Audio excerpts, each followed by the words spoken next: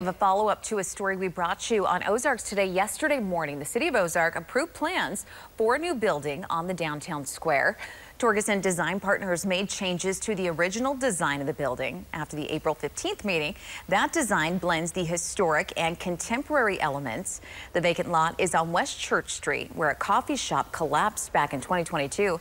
After more than two hours of discussion, three aldermen voted for the building, while three voted against it. The mayor, Don Currents, broke the tie in favor of the new design. Well,